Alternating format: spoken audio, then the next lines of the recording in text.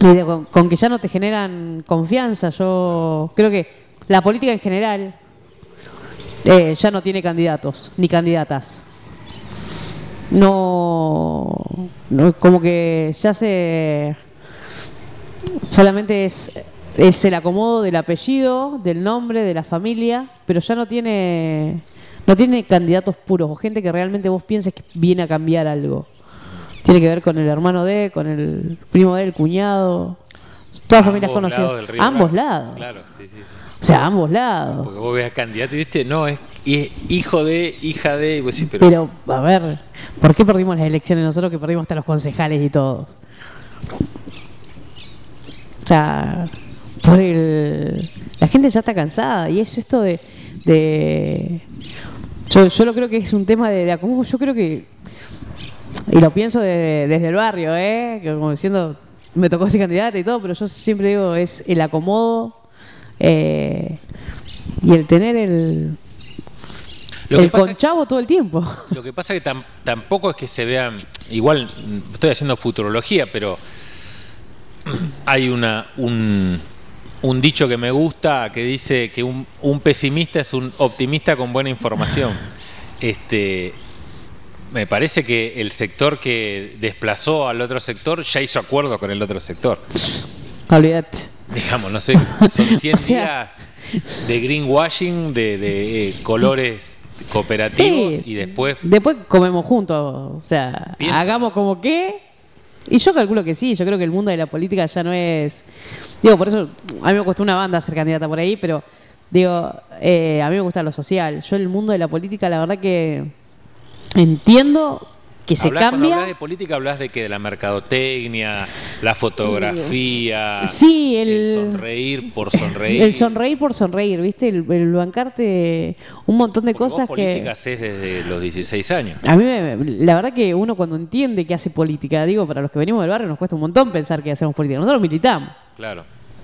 Digo, esto de, de ponerte en un lugar o de ser candidata y todo eso, y vos decís, eh, el no conocer, yo, yo veo yo veo estos candidatos que aparecen cada cuatro años, ¿no? Y cuando van al barrio con, con, con los zapatitos lustrados y un montón de gente atrás alabándolo, y vos decís, loco, Ah, Es el, es el- el- es el centro, sí, ¿viste? A mí me molesta eso. La verdad que si hay algo que, que, que a mí me.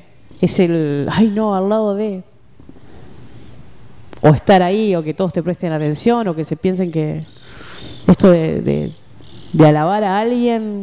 eh, la verdad que no. No, no, no, no es la, la política. O sea, alguien que. Creo que el MPN también perdió las elecciones porque antes los vecinalistas llegaban en algún momento a algún cargo, o como concejal o algo, para llevar los problemas del barrio. Eso lo perdió, eso se perdió. Ahora es todo amiguismo, apellido y demás. Creo que así como le pasó al MPN, le pasó a toda la política. Lo digo, que pasa es que los debe volver locos las guitas. O sea, hay mucha guita. es que yo, yo digo, sí, y el, y el alabarse. Yo creo que eso de, de que te, te- te genera todo un mundo de que toda la gente te dice, "Ay, sos lo mejor. Y creo que cuando Se lo- uno... se lo creen, sos, ¿no? sos, sos Dios que bajó a la tierra a traerme la solución. Y la verdad que uno, eh, en, el, en el quilombo de, del alabarse y todo, se cree, muchos se lo creen. Y se piensan que son, y por eso lo tenés, que primero sale candidato de gobernador, me fue mal, voy de intendente, me fue mal, voy de concejal, me fue mal. O sea, y permanentemente ves los mismos nombres pegados en la ficha que lo único que le cambia es para qué va candidato. Y eso ha pasado y viene pasando hace un montón de tiempo, digo, y la gente ya está cansada, o sea, siempre los mismos, si no, es el hermano, es el primo, y pierden el... Se les salió el barro del zapato, no sé si alguna vez lo tuvieron igual, ¿eh? No, no, pero es una buena mirada estratégica de por qué ese, es, es una máquina de ganar elecciones y de repente se les traba. Sí, sí, sí, digo, perdieron el, el- el contacto con, con la gente, digo, o sea, no... Vos de repente tenés que llevar un candidato que tiene, te aparece en 7 de mayo con una lluvia, con los zapatitos lustrados y vos lo mirabas diciendo, hermano. Y el contacto ¿Se te la... enojaron? ¿Eh? ¿Se te enojaron? No, no, no, el contacto con... No, no sé si se, no sé si se enojan porque... Si se enojan me da igual igual. O sea, no, no, no es algo que... que me moleste, ni algo que, que no me deje dormir, que se enojen conmigo. Pero digo, el, el, el diario de, de las de- del ver, del sufrir, o sea, alguien te lo, te lo toca de oído. Y yo digo, vos no podés no saber cuánto está el precio de la garrafa en el barrio. Claro. O sea, si vos me venís a representar a mí y no sabes cuánto está el precio de la garrafa en el barrio, o no tenés ni idea que hay un camión, o cómo es, o me venía a preguntar a mí qué es un bono de gas, y la verdad que hermano, Andá, claro. anda nomás, porque la verdad que a mí no me representaría, o sea, si vos no sabés eh, realmente los problemas, digo, eh, toda la ciudad, o sea, en la, parte de asfalto también hay muchos, muchos problemas, pero digo, si vos no sabés dónde realmente está la crisis social, donde, eh, donde la gente realmente se está quedando sin laburo, donde los pibes, nuestros pibes, eh, no tienen un no tienen una salida o no, o no le ven una salida, eh, digo, eh, para ellos la salida es salir a changuear, a laburar, a, a- robar, para, para comprar gilada. Mientras vos no enfoques hacia donde está la necesidad, esta sociedad nunca va a cambiar y eso no va a cambiar mientras los apellidos que aparezcan en los carteles sigan siendo los mismos. Mientras siga siendo el amiguismo político, el hermano de, el primo de, o sea, y te imponen candidatos, que la verdad que capaz que es re buena gente, pero no los conoces y no tienen una política de venir a, cambiar a cambiar nada y no conocen la realidad de la de las y los eh, compañeros y compañeras. Claro. En una situación tan violenta, ¿no? Esto, la verdad que hicimos un repaso. Sole, eh, creo que hablamos un montón de cosas y hablamos un montón también. eh, igual me pasaría horas eh, eh, hablando con vos. Eh, hay una necesidad de, de recrear también historias que desafíen a, a este pesimismo que, que nos ha enlodado desde hace ya ocho años, ¿no?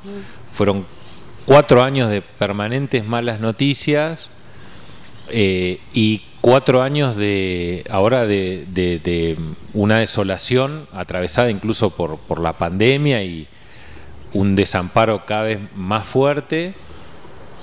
Eh, y ahora estamos a las puertas de- de un abismo. Más allá de que uno pueda decir, te lo dije, no te lo dije, lo cierto es que ahora ya no sirve de nada. Eso estamos ante la posibilidad de una auténtica ucronía, digamos, que, que haya un gobierno fascista en, en- en- en Argentina. Eh, así que yo celebro permanentemente esto- estos espacios como para crear un bolsón de resistencia, eh, tal vez en términos culturales, para aprender, pero después eh, creo entender de que la vida es dura y vamos a, a escuchar y aprender de los que saben, ¿viste? Sí, yo qué sé yo, yo yo me, me- digo, ¿quién es? O sea, o- cuando uno tiene un, un proyecto de, de esto de que nosotros tuvimos que aprender a los golpes o a los ponchazos. No tenemos la solución de todo nosotros, ¿eh? La verdad que... eh, pero yo miro a mis compañeras, digo, yo siempre, yo siempre las jodo a mis compañeras que vos las conocés, no se animan a hablar. Ahora, son mucho mejores que yo. Lejos, lejos, todas mis compañeras y mis compañeros son muchos mejores que yo. Mi compañero Lucho, que la verdad que es un, un caño, la Romy, la Debo, son mucho mejores que yo ahora. El tema está animarse, animarse a cambiar. Yo creo que eh, eh, yo, la- yo las veo a, a, a nuestras pibas, a Alma, a Debo, a Romy, y digo, la capacidad que tienen ahora ¿Cómo le faltó ese, ese gramito de confianza que era el que te decía que, que le falta a nuestros pibes y a nuestras pibas ahora? ¿Entendés? Nosotros tuvimos.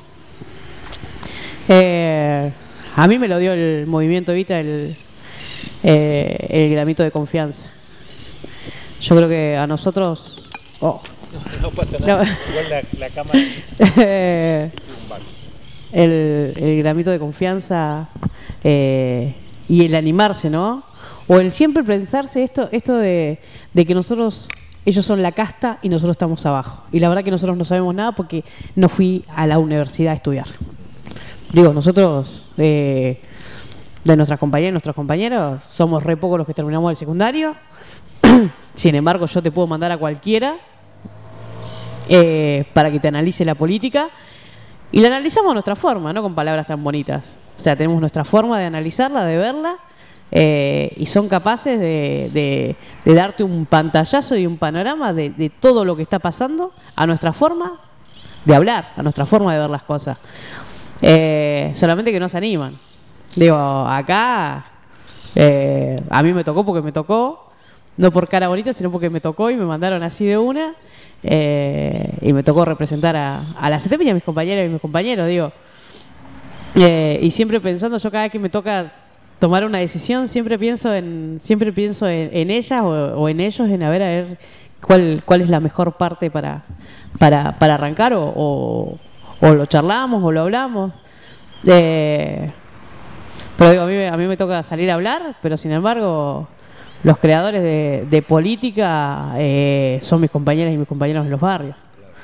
Eh, digo, la- la- las referentas y la gente que, que realmente eh, nos sentimos parte de algo. Nosotros, yo siempre digo que nosotros éramos como lo- eh, los olvidados o, lo- o los, o, los, o los tirados al abandono y sin embargo nos juntamos eh, porque veníamos descreídos de una política y sin embargo nos juntamos y empezamos a crear esto eh, que, que yo me puedo sentar con cualquiera de mis compañeros y mis compañeras y, podemos analizar la, la política o verla o hablarla eh, de otra forma. Nosotros con nuestros compañeros albañiles por ahí, yo los miro y digo, "Shh, hemos traído ingenieros y la verdad que no tienen ni idea de cómo hacer las cosas y nuestros compañeros, sin embargo, digo, el creérsela.